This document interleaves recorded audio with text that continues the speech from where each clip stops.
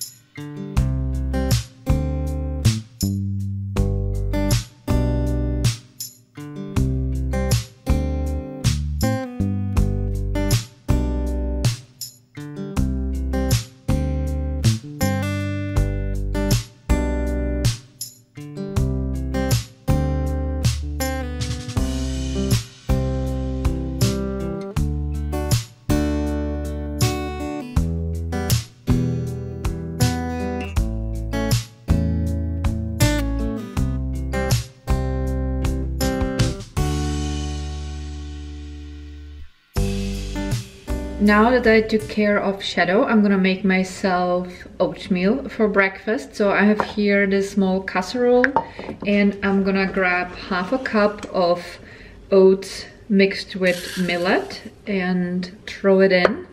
Then I will add one and a half tablespoons goji berries. I will also add one tablespoon of flax seeds and then I'll pour in a little bit of homemade cashew milk and I will cook this shortly. I will also add spices, so quarter of a teaspoon of cardamom and about one teaspoon of cinnamon. This doesn't take long at all. All I want is for the mixture to start boiling and then I can turn the heat off. I will stir the mixture for additional 20 to 30 seconds and then I can put it into a bowl.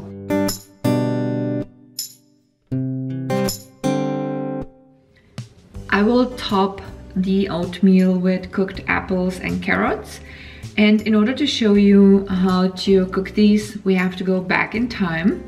So I'll show you how I prepared this yesterday.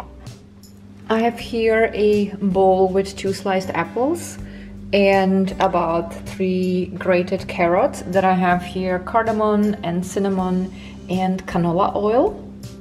I'm going to preheat about one or one and a half tablespoons of the canola oil in a pan and once the oil is hot, I'm gonna throw in these apples and cook them shortly, toss them back and forth.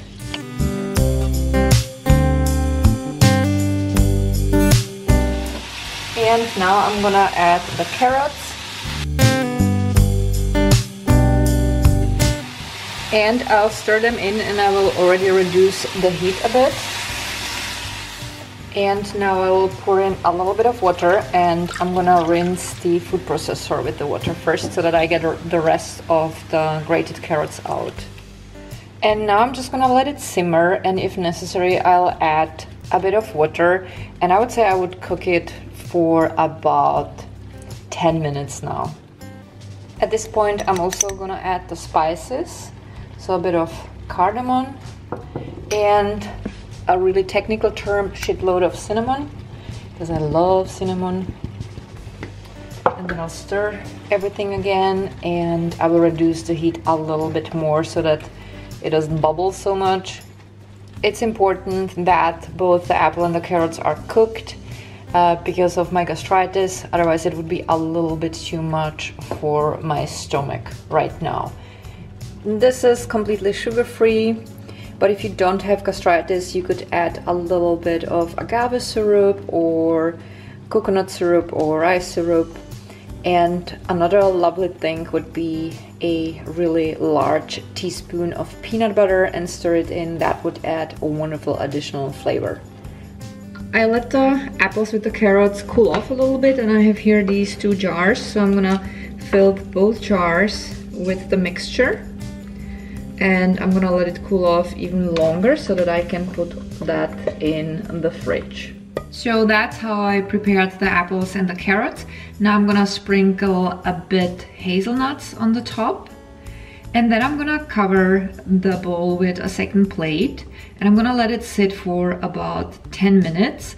The oatmeal is still hot but the apples and the carrots are cold because I took them from the fridge. So when I cover it and let it sit for about 10 minutes, the oatmeal will cool off, but at the same time, the apples and the carrots will be warmed up, which is great because with gastritis, you don't want to eat anything too cold or too hot.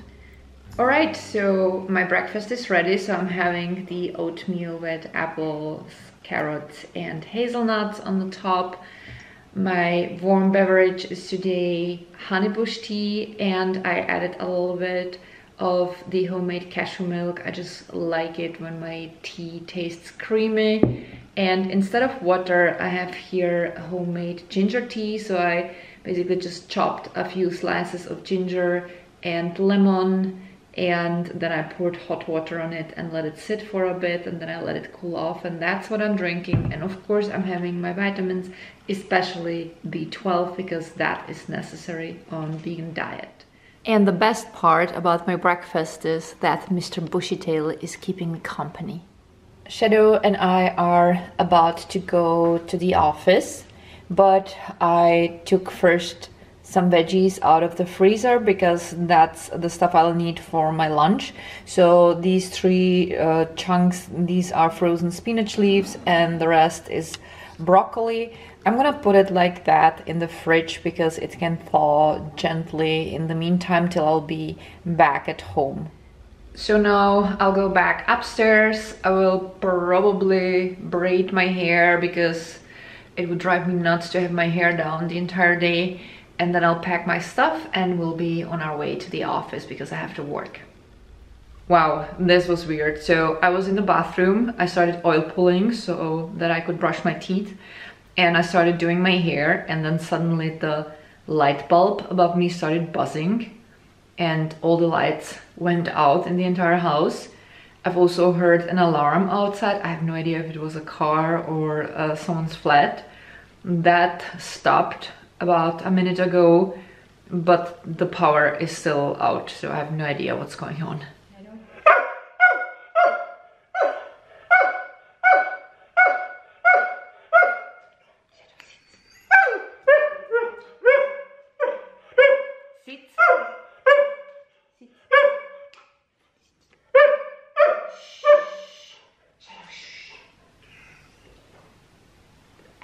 Good boy.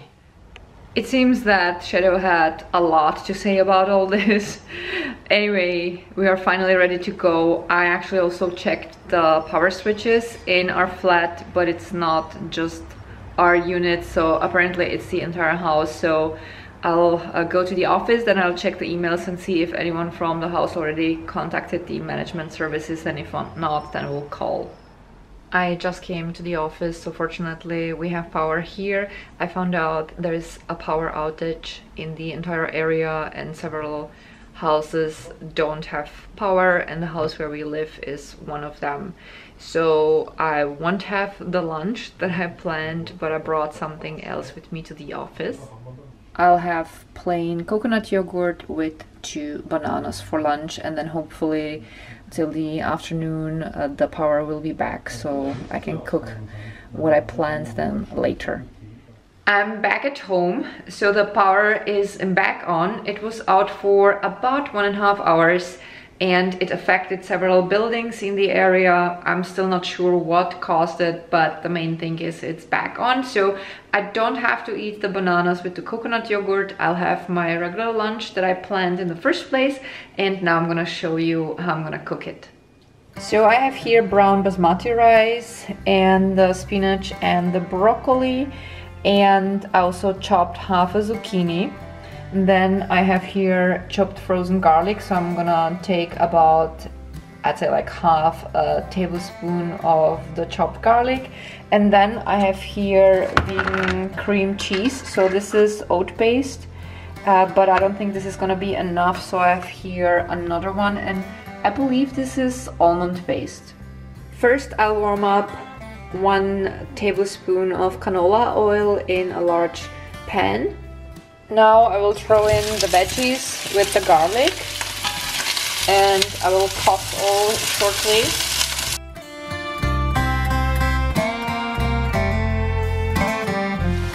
And now I'll go in with vegetable broth. It's yeast free, that's important when having gastritis. And I will stir everything and let it simmer for a few minutes. I'll cover the pan up. I will also uh, reduce the heat a little bit and that needs to cook for a few minutes. This already smells amazing. I now took the lid off about two minutes later because I actually do want a little bit of the liquid to evaporate. I went in with a bit more than I should have, but that's okay. So now I find that everything is cooked sufficiently, so I'm gonna add the cream cheese. So I will start with the oat-based cream cheese and see if that's gonna be enough because I like it really creamy. But I think I'm gonna add a little bit more of the almond cream cheese just to make the sauce a little bit thicker. And now I'm just gonna dump in the rice. So if you were looking for some very professionally, perfectly styled, uh, like professionally prepared and perfectly styled food, you got the wrong channel. I don't care that much about what my food looks like. Um, you know, if that's your thing, no shame, but I only look at the practical side and the rest is not so important for me personally. So I'm gonna stir the rice in, which will also warm the rice up. And then I'm ready to eat. All that's missing is a little bit of black pepper, which I will sprinkle on the top right away. And here we go. My gastritis friendly veggie pan is finished. And you guys can let me know in the comments if the look of your food is important, if you like taking time in order to style your food, or if you are like me who just dumps stuff in a pan, stirs it, and it's ready to eat. Because again, there is nothing wrong with either. It's just, you know, it would be interesting for me to know what it looks like on your end. And this is the portion I'm gonna eat. I'm at this point pretty hungry. And when I'll be done with my lunch, Shadow and I will go to the Wootsies. Oh, and by the way, before I forget, I got a new emergency bracelet. It came today in the mail. So it's made of steel and the color is rose gold. So it has here this staff with a snake so that it's clear that it's medical information. And it says here in the front, large liver hemangioma and then there is the ambulance number and the European Europe um, emergency number. And on the back side there's my full name, my blood group and my husband's phone number for emergency reasons. And it's really nice, it's very subtle, it has just this little small chain and I thought it would be nice to have something that's a little bit more subtle than this bracelet that I'm wearing. For sports, I'll definitely keep wearing this one and probably usually on daily basis, but again, this is more like for occasions where I want it to look more like jewelry and not to be like that flashy. I'm all packed and also threw on this cute vest that I thrifted not so long ago because it is quite cold today but not cold enough for a second sweater but it's cold enough to have at least a vest and there is Mr. Bushy Tail because I actually just told him before I started filming that we're gonna go on a walkie so he's all excited. Mr. Bushy Tail has it very cuddly here in the back with his pillows and of course we have a safety belt for him. And the plan is very simple. I'm meeting my friend Jana close to the stadium and we're simply gonna go on a nice walk together with Shadow and I'm bringing also a bag with me because I want to collect some chestnuts for one of my upcoming projects for my DIY channel. I forgot that it's not the crack of dawn there are actually people out there. So um, I wouldn't say stuck in traffic but it just takes way longer than when we normally go to the woods in the morning. But fortunately I brought the bananas with me. The thing is about my diet right now because I'm eating a bit less protein than what I'm used to. Um, I get hungry more often so I definitely have to have snacks in between I'm usually eating bananas or some mild fruit. So Christina told me I'm supposed to eat only fruits that are low in acid. So that would be for example berries apricots or bananas. I can eat apples but only cooked because she said that would be a little bit too much for the stomach right now. So I'm almost at the traffic light so I will turn the camera off because of course I have to focus on my driving and I'll talk to you guys when we're gonna be in the woods.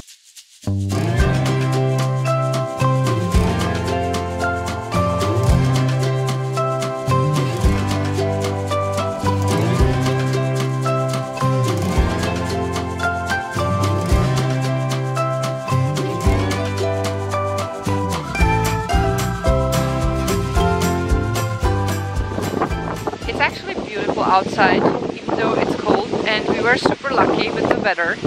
So I met Jana at the stadium, I parked the car, I went out with Shadow to meet her in front of the entrance and it started raining. We went inside so that we could go to the toilet and by the time we were outside again it stopped raining so that's luck. It's really nice, there are not so many people, way fewer people than what I expected and look how full my chestnut bag is so I guess that should be enough for my project.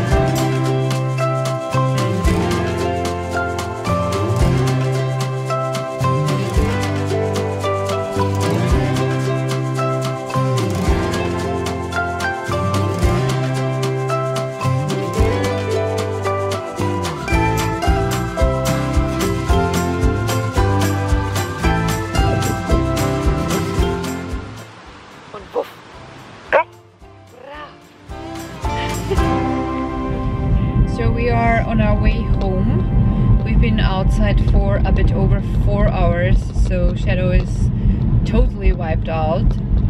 I'm glad that I brought the two bananas with me uh, so that I could have a snack. Right now my stomach hurts it's not bad uh, but it's not necessarily comfortable. So when I'll be at home I'll have then my dinner. So for dinner I'm gonna have soup so I'm gonna show you what soup I'll have. It's already cooked but I can explain to you then shortly how I cooked it because it's super easy. And I'm gonna make myself probably a fennel tea and I'll take the tonic that I have uh, for my stomach because that always helps with the cramps we are back at home. I can tell that it's fall because it got already super dark. It's only shortly after six o'clock, but it's getting darker and darker. So it's time to light all the little candles everywhere in the house, which is super romantic. I do enjoy the season so, so much. And now I will first feed Shadow and then I'll warm up my soup. Here is the soup that I'm gonna have. Yesterday I made this large pot full of the soup and I had two plates. It's super easy to cook. It's basically vegetable stock with fennel, celery, carrots, potatoes and zucchini. I added a little bit of garlic, black pepper and parsley and that was it when it was cooked. I mushed the soup and that's what I'll have tonight for dinner. Shadow is finishing up his dinner I will probably have two bowls of the soup and then I'll have fennel tea and that's gonna be it. If you have any health issues and you need help with your meal plan, I highly recommend Christina. This is not sponsored. I'm recommending her because her diet is helping me so much. So I will list all her info in the video description. And after dinner, I'll take a shower, put on my jam jams, and then Jack and I will just chill. But I'm also gonna show you what I'm making uh, for Jack. I'm making a few no crap cakes that I found recently in one of the stores. So this is what they are called. So I just put them in the oven. Normally you're supposed to fry them in a pan, but I always prefer to cook these things in the oven. Because that way it's less oily and it's definitely a bit healthier. So that's gonna be it for today. I hope that you guys enjoyed today's video. Thank you all so so much for watching. I appreciate you so much. God bless you and see you soon. Bye